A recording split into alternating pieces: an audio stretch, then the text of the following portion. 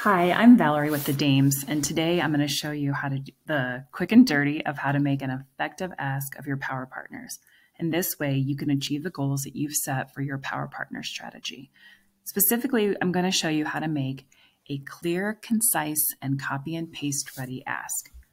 So the first thing, the scenario here is that I have an upcoming Dames Roundtable that I would like my power partners to share and I keep all of the event details in a Google Drive document. Make sure that you cover your five W's the who, the what, the when, the where, the why, and the 1H, the how, how they will register for your event.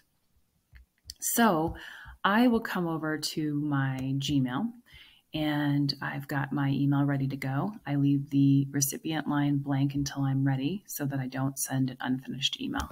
In the subject line, I would put something drawing attention, um, our partner, you know, what I'm asking about.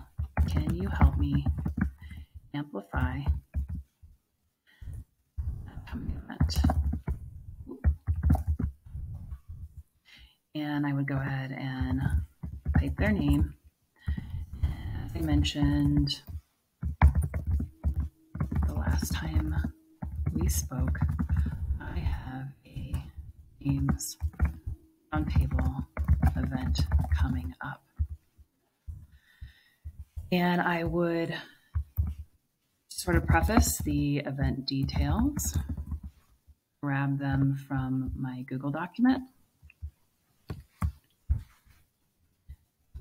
them in my email.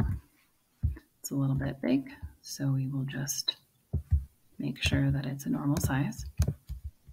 And then my clear and concise ask, can you please share this on your LinkedIn and Facebook feed at least two times this week.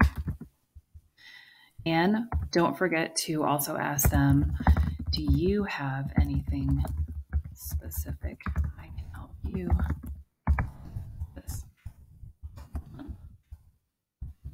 you return the favor and then go ahead and type their name in and hit send. And that's it.